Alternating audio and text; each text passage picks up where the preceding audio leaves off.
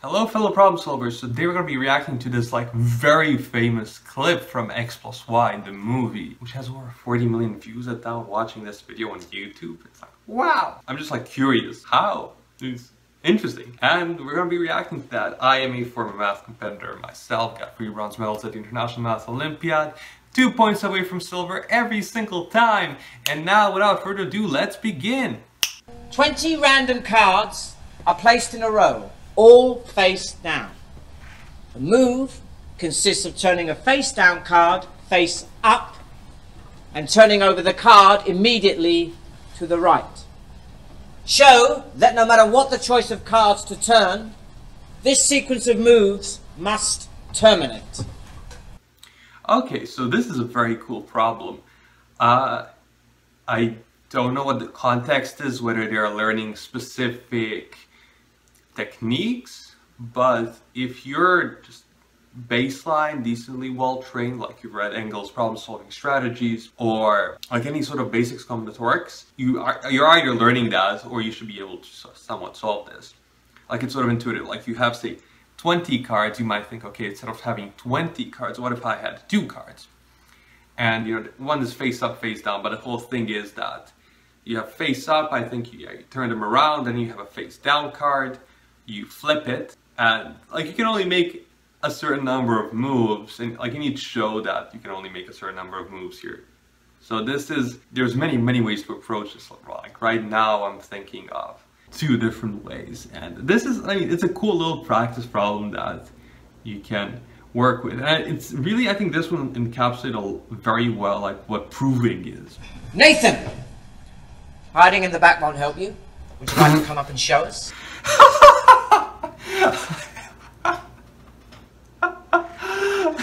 wow, that man is a little bit of a bully. Hiding in the back won't help you. This is... I've been trained by a lot of math, competitive math coaches.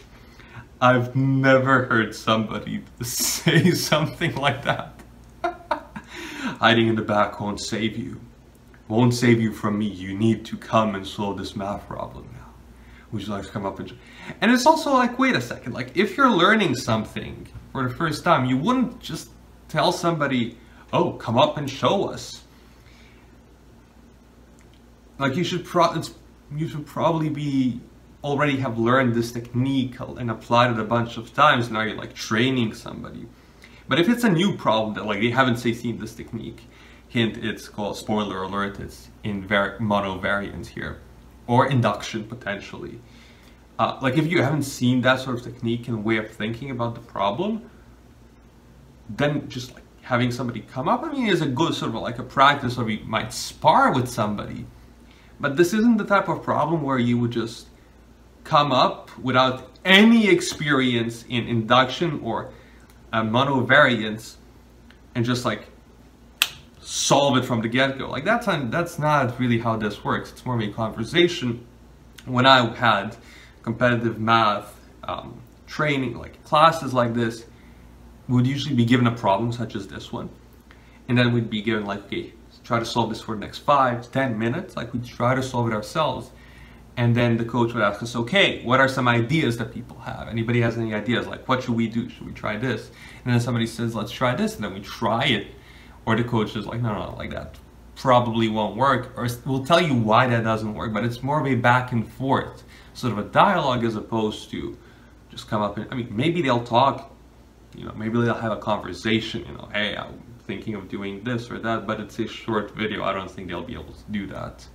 So let's continue.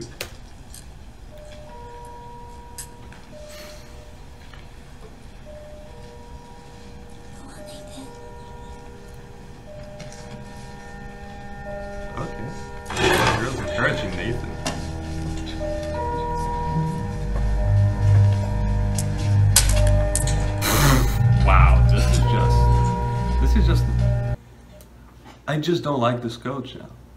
I'm just like not a fan of this coach. Why would you do that? Why the silence?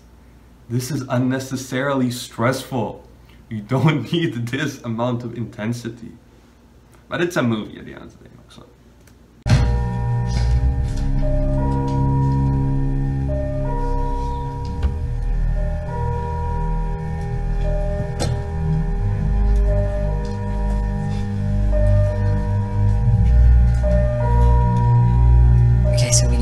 Look at the cards not as cards but as uh, as numbers.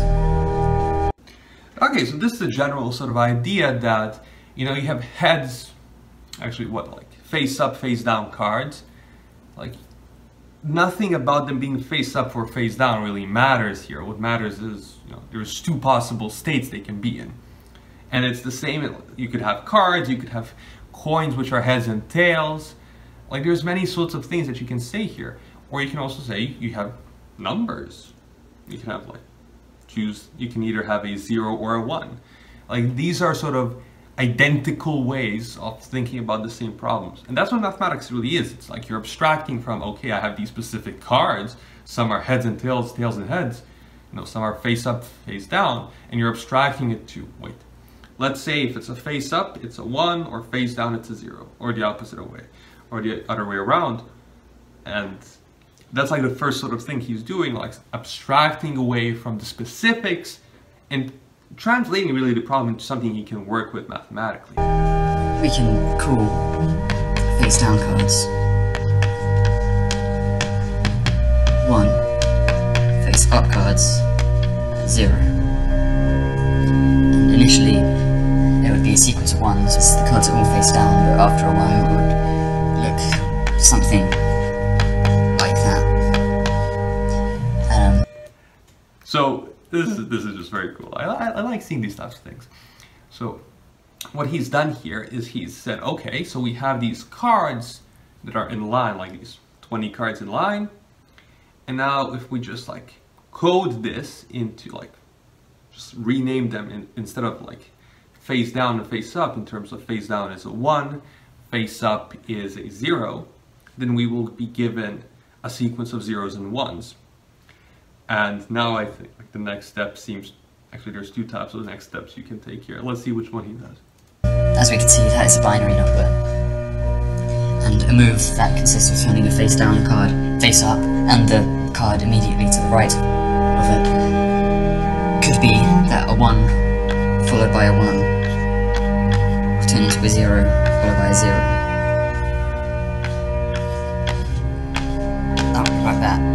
It could be a 1 followed by a 0 turning into 0 followed by a 1. Very dramatic music. And he's now, what he's doing now is he's looking, okay, there are a finite number of possible moves that I can make, these sort of flips, and he's trying to look at all of them and what they will imply for this number, the sequence of ones and zeros. And now I think he's going to go like with that sort of mono variant here. So let's see. In either case, we can see that the, the number in binary is strictly decreasing. And that means Okay, now the professor starts talking, that means. So what he's doing there is he's saying, okay, I have this beginning state and every time I make a move, I am going to decrease the number. And so the logic here is like, let me just talk a bit about this invariance monovariance thing is whenever there's like a heuristic, a general problem solving heuristic that when you see a transformation happening or change happening, look for that that stays the same or that which changes in a controllable manner. Now, if you now once you take the cards and turn them into ones and zeros, like face up, face down, turn them into ones and zeros, and then once you take those ones and zeros and think of this sequence as a binary number, now you talk about these transformations as things that really just make this number smaller right? That is what you're doing now. You're just saying like, okay, if I pick a one and a zero, I'll, pick, I'll create a smaller number. If I have a one and one, a smaller number. Like every time I am decreasing this number. So that is what he's doing and now comes the grand reveal. But you can imagine, say you have this binary number. I mean, you can pause now, think. What would what will happen if at every point you have this number, a binary number, and, and a positive integer, and every move in effect decreases that positive integer by a positive integer amount. Can that happen? And this in integer is always positive after every time it's decreased. So can this happen as long as you want? That's the question. And now let's see what our little boy Nathan answers. Which means that the sequence must terminate. Because? Because you can't keep taking away from a positive integer without it turning negative. No, you can't. You definitely can't. Good work. Everyone, good work.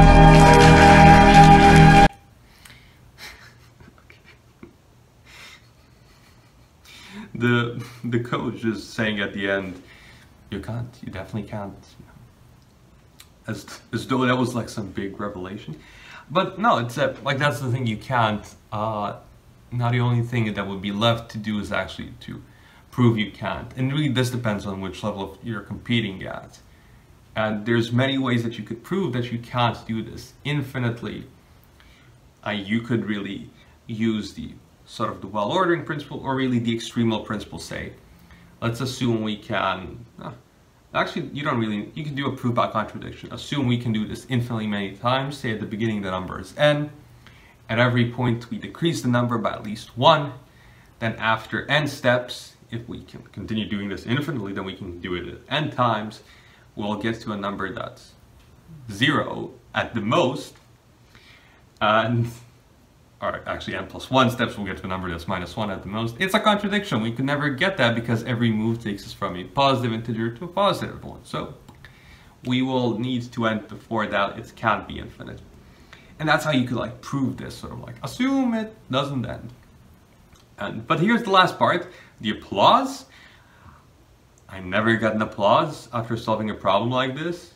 Yeah, I mean, maybe it's that I am not as smart as Nathan boy, but also, no, this is a value judgment. Like if you're really preparing for the IMO here and this doesn't, it seems, it seems like they picked, they picked a good problem, really. Like they picked a problem that's like understandable, intuitive, that people at home can maybe solve, but they haven't really, like I don't know, like his solution isn't something to applaud for because it's like basic techniques if you're at this level. And I'm assuming here that you are preparing for the International Math Olympiad, which means you've probably seen invariants a lot.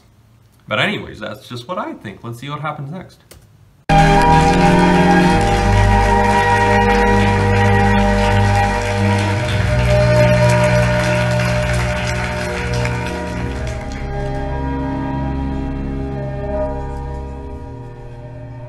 So this girl is like eyeing Nathan now.